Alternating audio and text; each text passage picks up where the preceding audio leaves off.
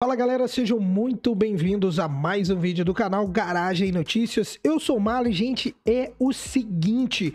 Hoje vamos falar da Bajaj, exatamente, meus amigos. A Bajaj é uma marca que está crescendo muito no mercado brasileiro. Isso é fato, né? Não tem como falar que a marca não está tendo um crescimento bem interessante no mercado nacional. Porém, meus amigos, a Bajaj acabou de atingir mais um marco de crescimento que é, olha, são números bem impressionantes. E até o final do vídeo a gente vai discutir tudo o que está acontecendo e como o mercado brasileiro está em constante crescimento, né? Vendendo cada vez mais motos aqui no mercado nacional e tudo que isso impacta no dia a dia do cidadão comum, não é verdade? E também, até o final do vídeo, a gente vai também, a gente tá, tá dando os elogios aqui para a Bajaj com esse crescimento, mas também a gente tem que ser enfáticos aqui e falar de alguns problemas que está acontecendo com a marca no mercado nacional. Porque com todo o crescimento tem que acompanhar também, né, o, o, o suporte de peça e também as manutenções, porque algumas lojas estão passando por alguns problemas beleza? Se você gosta desse tema, gosta dessa didática, já peço para que você se inscreva aqui embaixo, Padrão. Deixa o seu like e também ativa o sininho, tá? Ativa o sininho aqui, porque de vez em quando o YouTube desativa o sininho da galera lá, ele. Então, por favor, veja se o sininho está ativado. Se não tiver, ative o sininho para você receber todas as notificações. E pensando em seguro, corretor Santana aqui na descrição. O Soin de Seguros é uma das maiores corretoras de seguros do país. E ele vai ver a melhor cotação de seguro para você, pode ter certeza, beleza? Então bora. Pois bem, meus amigos, cá estamos nós, o site Motul, e aqui já começa daquele jeito, né? Matéria do Rafaelzão Mioto, e aqui já começa daquele jeitão. Gigante Indiana, Bajaj cresce 140% no primeiro semestre de 2024. Olha que número bem interessante, né? 140%, meus amigos, isso no primeiro semestre, sendo que inaugurou a, a fábrica somente agora. Então a Bajaj ela vem tendo números bem expressivos muito antes da própria fábrica estar em andamento isso também significa muito pra gente aqui no mercado brasileiro, que é mais uma marca alternativa mostrando um real interesse no mercado nacional. E a gente tem que também salientar que os modelos da Bajaj são muito interessantes, né?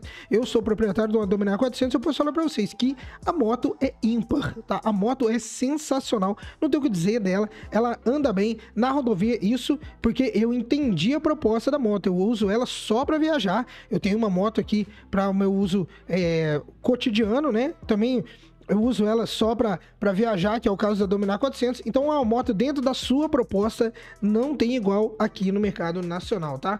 E a fabricante está apenas em seu segundo ano por inteiro no país. Marca que acaba de inaugurar a fábrica em Manaus, registrou 3.617 unidades moto no primeiro seis meses do ano. Olha só, 3.617 unidades. Para muitos esse número vai parecer pouco, mas para quem sabe, né, para quem entende o mercado e como funciona o processo fabril, isso aqui quer dizer um número bem interessante, tá? Porque os números 3.600 unidades para muitas pessoas pode parecer pouco, mas no contexto geral é um número bem significativo, tá? Por mais que a fábrica ainda esteja engateando, né, teve, esteja ali acontecendo nos princípios de fabricação ainda dos seus modelos, a fábrica já está operante, querendo ou não. Então, uh, esse número aqui mostra muito bem como que pode ser uma crescente daqui em diante, ainda mais com a fábrica da Bajaj. Olha, eu não sei vocês, mas esses números para mim significa só o início, tá? Significa só o começo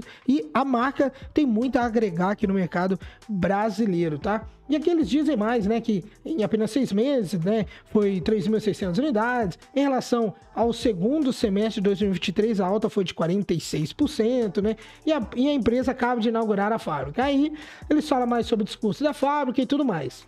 A média mensal da Bajaj aqui no Brasil é de 602 mil, 602 modelos comercializados no primeiro semestre de 2024, enquanto 2023 era de 316 modelos. Olha só, já teve um crescimento muito bom, tá? E com a inauguração da fábrica em Manaus, né, que ocorreu no mês de junho, o volume mensal do segundo semestre chegará a 1.400, olha só, permitindo a Bajaj do Brasil fechar o ano com 12 mil unidades vendidas, triplicando o resultado de 2023, disse a empresa. Isso aqui é um comunicado da empresa, tá? Então a empresa ela vai falar mesmo, né? Ela vai jogar os números positivos, por mais que possa estar, não estou falando que é o que está acontecendo, mas por mais que nós esteja, estejamos vendo, né, números negativos nos emplacamentos e tudo mais, né, pessoas sofrendo com entrega de peças, isso aqui é uma fala padrão, as empresas vão falar mesmo, né? Eles vão falar, não, porque agora a gente vai entregar, a gente vai fazer acontecer, mas a única forma de vermos se isso vai se concretizar é acompanhando os emplacamentos. Por isso que eu peço para que você se inscreva aqui embaixo.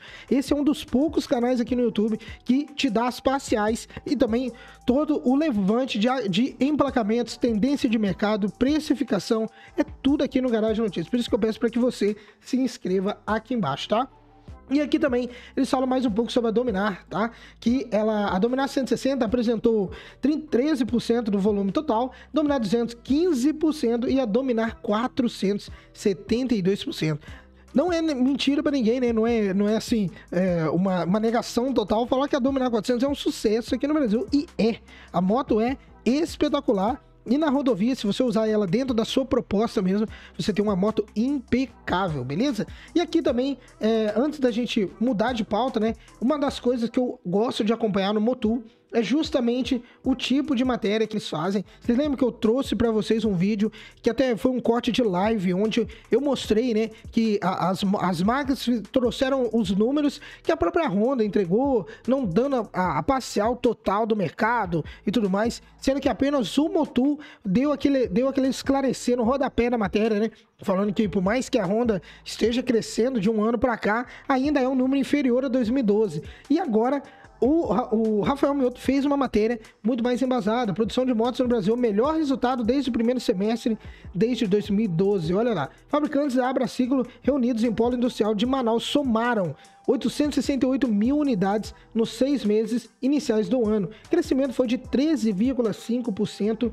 em relação a 2023. E aqui está uma foto da fábrica da Bajaj, né? E o segundo, segundo a entidade, esse foi o melhor desempenho para o período de 2012. Em segunda produção, totalizou 106.273. E o aumento foi de 11,5% em relação ao mês de 2023. Mais uma redução de 33,8% em comparação a maio. Essa queda já era esperada devido a férias coletivas associada e programada anteriormente, disse a Abracil. Ou seja, é tudo isso, né? Vendas no varejo e tudo mais. O mercado brasileiro está crescendo bastante porque uma das coisas, né? Por mais que algumas pessoas acham que não, o mercado está crescendo, está tendo uma maior procura de motos, por exemplo.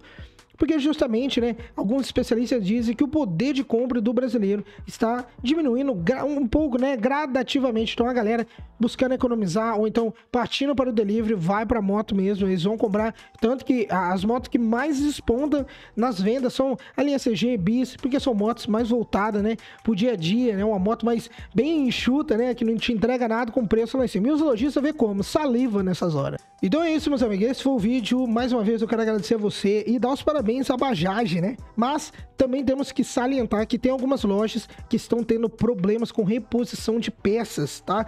A, a, principalmente ali na região norte e nordeste, eu tenho recebido vários relatos de inscritos aqui do canal que estão passando por problemas na hora de reposição de peças que eles precisam para a linha dominar. Isso não é uma característica somente da Bajaj em si, porque a Bajaj ainda não tem peças similares no mercado brasileiro. É, a, única exclusivamente são peças originais. Se você for comprar uma Honda, por exemplo, né, uma peça de uma, de uma CG que você queira original, você vai esperar da mesma forma.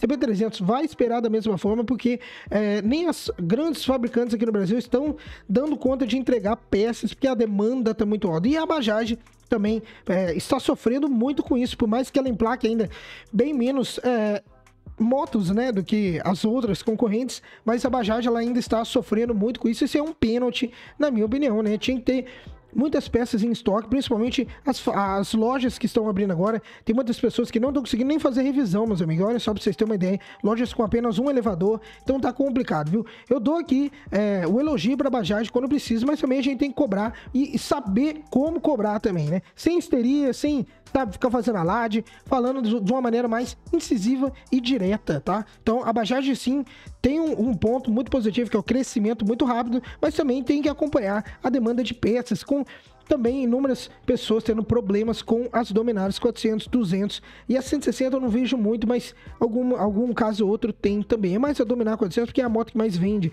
Então, algumas pessoas estão tendo esse problema. Então, isso na minha opinião, a Bajaj já tinha que resolver numa vez por toda, principalmente peças aqui no mercado nacional. Beleza? Tamo junto, meus amigos. Beijo no coração. Daqui uns dias eu vou trazer um vídeo para vocês completo falando de preço também da Dominar 400, porque já tá saindo aí um burburinho na internet que o valor da Dominar 400 vai subir de forma oficial, ainda não foi falado nada, mas eu vou trazer um vídeo para vocês falando mais a respeito, porque a gente não quer que suba, suba preço nenhum, mas nós vamos discutir tudo no vídeo que eu vou trazer daqui uns dias para vocês, beleza? Tamo junto, beijo no coração, vejo vocês no próximo vídeo, é nós e fui! Tamo junto!